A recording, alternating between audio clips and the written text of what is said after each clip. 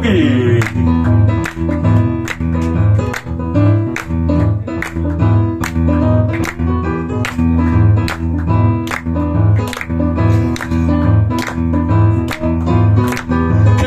כן, כן, פתאום גילה ממש מהות. בהר בודד בצפון הודו או בדרום נפאל קיבל כוחות הטבעיים התחיל לתפוס את המהות. שלמה ומתי ולמה צ'ארלי כן קנגורו בכלל? הוא יפתח את הברכות, הוא ידבר עם הרוחות. לך את כל, את כל הברכות תנו כבוד נו לצ'ארלי קנגורו.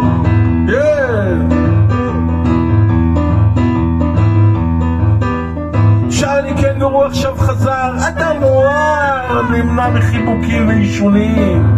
החברים, המשפחה, קצת מודאגים וזה מוזר, הם לא רואים, הם לא מבינים.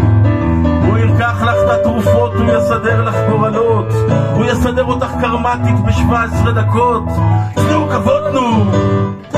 לצ'ארלי קנגורו, כן, כן, כן, עוד פעם, תנו כבוד נו! לצ'ארלי קנגורו, תנו כבוד לדוקטור אביב נווה!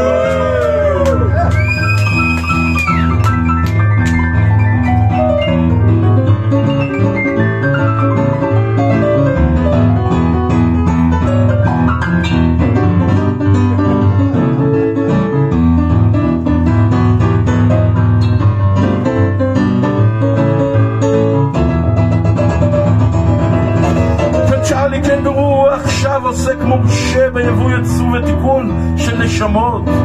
הוא חיבר שלושה ספרים, עכשיו הוא גם מרצה, פגישה איתו הופכת עולמות.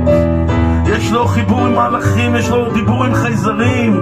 הוא רואה פתאום את הסודות הנסתרים.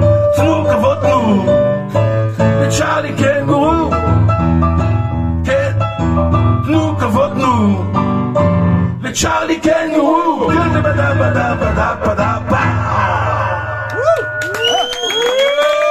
תודה רבה, היה ממש כיף, תתרמו לקופיק, זה מקום חשוב. והכרחי לעיר כמו חיפה ובכלל